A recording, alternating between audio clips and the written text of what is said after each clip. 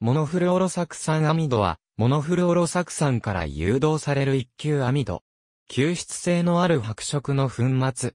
アセトアミドのアルファ炭素状の水素が一つフッ素に置き換わった構造を持ち、フルオロアセトアミドとも呼ばれる。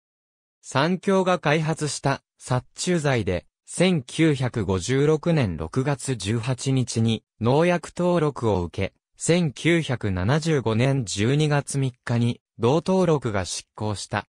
商品名フッソールなどで登録期間中に累計1900トン、ピーク時の1966から1967年には年間200トンを超える製剤が製造されたが次第に、有機リン系の農薬にとって変わられるようになった。貝殻虫や肌に、アブラムシなどに効き、果樹園を中心に用いられた。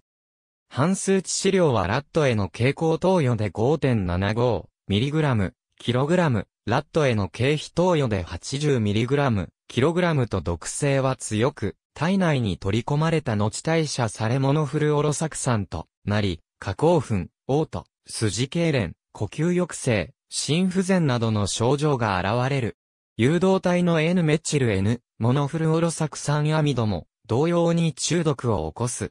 モノフルオロ酢酸、モノフルオロ酢酸ナトリウムなどと共に毒物及び、劇物取締法により、特定毒物に指定されており、青色の着色が義務付けられている。法令で定められたもの以外は、モノフルオロ酢酸アミドを含んだ製剤を取り扱うことができない。蒸気のニッソールは劇物に指定されている。ありがとうございます。